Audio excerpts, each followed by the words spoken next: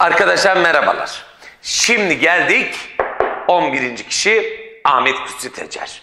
Daha önce şairliğini görmüştük. Tiyatro yazarıdır ve şairdir.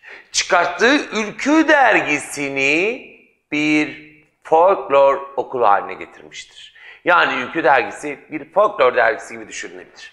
Ahmet, burada arkadaşlar Ahmet Kutsi Tecer Aşık Veysel Şatıroğlu'nu Aşıklar Bayramı'nda keşfetmiştir.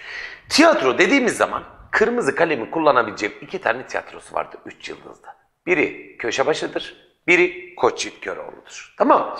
Köşebaşı ve Koç Yiğit Köroğlu bizim açımızdan değerlidir. Anlaştık mı? Şimdi Köşebaşı. Gençler, orta oyununa, orta oyununa yakın bir tarzda yazılmıştır. Tamam. Ve The Nightboard adıyla The Neighboard. Bak köşe başı demek zaten. The Neighboard adıyla Amerika Birleşik Devletleri'nde yayınlanmıştır. Bakınız. Olay bir köşe başında geçer. Bir adam yıllar önce babasını terk etmiştir. Daha sonra babasının ölüm haberi gelince gitmiştir terk ettiği şehrine. Lakin yaklaşamamıştır. Acaba ahali bir şey der mi? Ben babamı yıllar önce yalnız bıraktım demiştir. Ve babasının orada defnedilişini, babasının gömülmesini bir köşe başından izleyip sonra çekip gitmiştir. Bak adından da anlaşılacağı gibi köşe başı. Koçuk Göroğlu'da da halk edebiyatı unsurlarının olduğu bariz belli mi? Bu ikisini ezbere bilmeni istiyorum. Köşebaşı Koçit Köroğlu. Bak kırmızı kalemle yazılmış. Yazılan bozulmaz, bir pazar günü, satılkev, diğer eserleridir. Anlaştık mı? Sabahattin Kudret Aksal. Sabahattin Kudret Aksal'ın şöyle eserlerine beraber bakalım. Bir, Şakacı. Bir tiyatro eseridir. Adı nedir? Şakacıdır tiyatronun adı. Bakın arkadaşlar. Şakacı'da Ragıp Bey iş seyahatine çıkar. Lakin çektiği bir telgrafta iyi olduğunu söyler. Daha sonra bir telgraf daha gönderttirir ve öldüğünü ailesine haber verdir. Ve bu şekilde ne olacaktır? Ailesi öldüğünü anlayacaktır, üzülecektir. Ragıp Bey geldiğinde de o sevinecektir. Lakin işler umduğu gibi olmaz. Ragıp Bey ölüm haberini verdirir. Ailesi sevinir. Üzülmenin aksine sevinir. Sonra Ragıp Bey gelir 15 gün sonra eve. Sürpriz diyecektir. Bir bakar. O herkes düzenini kurmuştur. Millet onu gördüğüne üzülür. Bir odada üç ayna.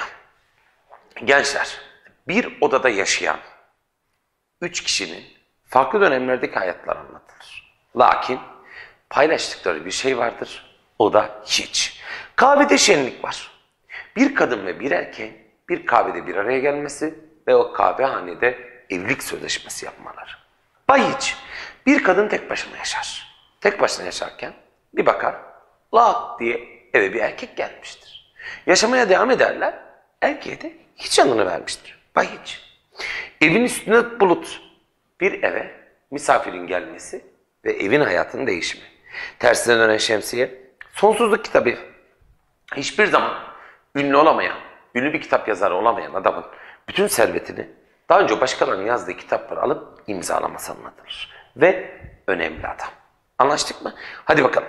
Hikayeciliğini görmüştük. Bak aynı zamanda hikayeciydi. Biz şu an tiyatroculuğunu görüyoruz. Tamam mı? Şakacı, bir odada üç ayna, kahvede şenlik var. Bay Hiç, evin üstündeki bulut, tersine dönen şemsiye, sonsuzluk kitabevi, önemli adam. Gelin bakalım. Beraber sayalım mı? Bence beraber sayalım. Bakınız. Şöyle ben sileyim, beraber sayalım. Ahmet Küsü Tecer, Köşebaşı Koç Yütkeroğlu.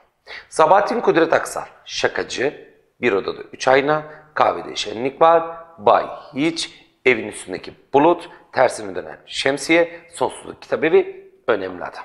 Buyur, beraber saymayı ezberlemeye ne dersiniz? Değil mi?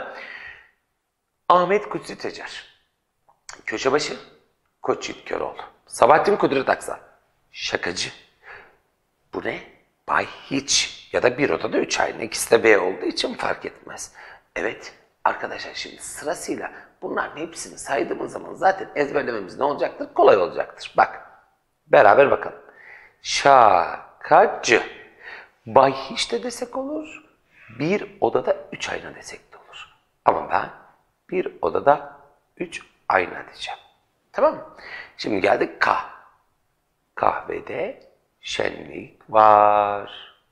Sonra bay hiç evin üstündeki bulut tersine dönen şemsiye sonsuzluk kitap evi önemli adam demek ki. Eserlerimiz bunlardır. Necati Cumalı şairliğini gördük. Şair. Romancılığını gördük. Romancı. Hikayeciliğini gördük. Hikayeci e, aynı zamanda da tiyatrocu. Geleneği anlattı boş beşik. Kendisine kasabada laf eden, namussuz diyen birisini vurması anlattı Mine. Derya Gülü susuz yaz. Yine cinayetler töre. Nalınlar kendi isteğiyle bir kız evden kaçar. Lakin nalın takunyanın büyüdür, terlik tarzı bir şeydir. Nalınları düz bırakır. Neden? Kendinin kaçtığını herkes emin olsun diye. Birinin kaçırmadığını bilsin diye ailesi. Bakanı bekliyoruz, kaynana ciğeri, vur emri, vatan vatan diye diye gibi bir sürü tiyatrosu vardır. Ders notundan bakınız. Ama ezbere bileceğimiz boş beşik, mine, derya gülü, susuz yaz, nalınlar. Bir daha boş beşik, mine, derya gülü, susuz yaz, nalınlar. Boş beşik, mine, derya gülü, susuz yaz, nalınlar. Boş beşik, mine, derya gülü, susuz yaz, nalınlar. Boş beşik, mine, derya gülü, susuz yaz, nalınlar. Bakanı bekliyoruz, kaynana ciğeri. Vur emri, vatan vatan diye diye de ders okulundakiler. Şimdi, üzerinde çok fazla durmayacağımız. Ama müfredatımızda yer alan. Vedat Nedim Tör, Vasıf Öngören, Oktay Arayıcı, Başar Savunucu. Vedat Nedim Tör, kırmızı kaleme dikkat. İşsizler, köksüzler, hayvan fikri yedi, İmran'ın insanları aşağı yukarı fevkalasiler. Vedat Nedim Tör, hadi bakalım işsizler, köksüzler, hayvan fikri yedi. Anlaştık mı? Vasıf Öngören, Asiye nasıl kurtulur? Zengin mutfağı, oyun nasıl oynanmalı? Asiye nasıl kurtulur? Kırmızı kalem. Oktay Arayıcı, Rumuz, Gonca Gül. Dışarıda yağmur var, bir ürün toplumsal anatomisi. Başar Sabuncu, Kargalar, Zemberek. Şerefiye, Şerefiye dememiz yeterli, bir tane ye koymamız yeterli. Osmanlı Türkçesi değil. İşçi babası Ömer Ağa ile hanımın şoförü Recep. Hadi bakalım. Kırmızı kalemi ezberleyelim. Vedat Nedim Tör, işsizler, köksüzler, hayvan fikriyeti. Vasıf Öngören, Asiye nasıl kurtulur? Oktar Ayarcı, Rumuz Gonçagül, Başar Sabuncu, Kargalar, Zemberek. Vedat Nedim Tör, işsizler, köksüzler, hayvan fikriyeti. Vasıf Öngören, Asiye nasıl kurtulur? Oktay Arayıcı, Rumuz Gonçagül, Başar Sabuncu, Kargalar, Zemberek. Evet gençler. Cumhuriyet dönemi Türk tiyatrosu burada noktalanmıştır. Bir sonraki videoda Cumhuriyet dönemi öğretici metinlerde görüşmek üzere. Diğer videomuzu bekleyiniz. Kendinize iyi bakınız. Esen kalınız.